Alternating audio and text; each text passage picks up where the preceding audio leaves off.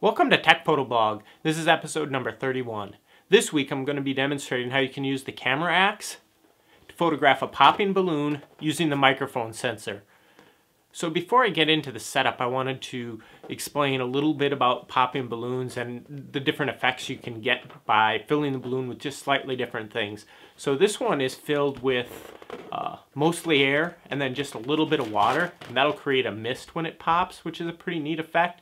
I've also tried filling it with just a little bit of powder and then the more messy version is to fill the balloon completely with water, which creates neat effects, but uh, be prepared for a little bit of mess when you do that version. Now I'll demonstrate the menu setup for the camera axe. I'm just holding the activate button down while turning it on to reset the camera axe to its factory defaults. And now all I need to do is plug in a microphone sensor to sensor port number one and a flash into camera flash number one. This is what the uh, microphone sensor looks like. And that's really all you need to do for setup. Then you just hit activate and it's ready to go. The reason is because the default menu settings are compatible with the microphone sensor. I'll quick go through those though. Um, so on device number one will be the flash and sensor port number one is the microphone. So we're saying those are interacting.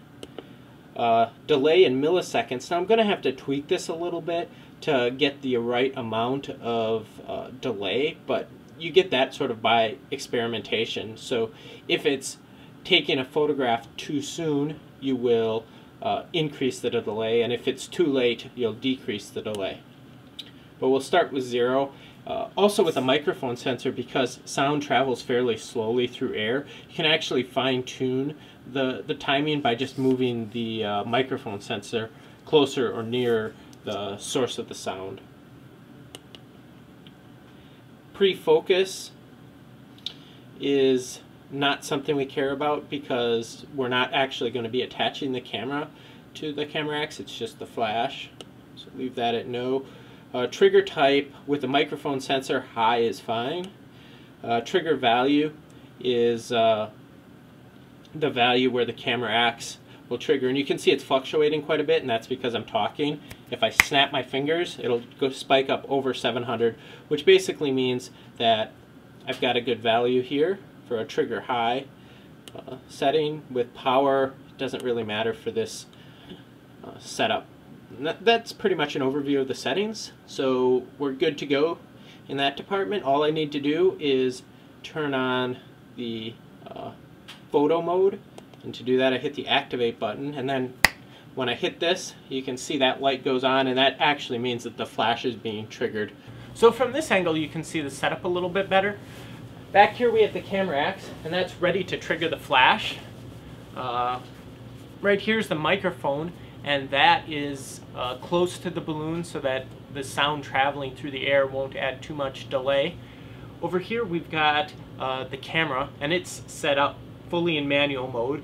I've preset the aperture, ISO, uh, shutter speed to what I want. And I do have the shutter speed set to two seconds right now, so I'll have to turn off the lights and then we expect that the flash will light the scene during those two seconds of exposure. Otherwise it would just be black. And over here is the flash and it's going to be activated by the camera axe. Now I'll turn the camera axe on. Hit the activate button. Now whenever there's a loud noise, there'll be a flash. So here we are in the dark room. It's not too exciting, but I will hit the shutter button and then we will take the photograph by popping the balloon. Here's a few pictures I took during the session. Thanks for watching.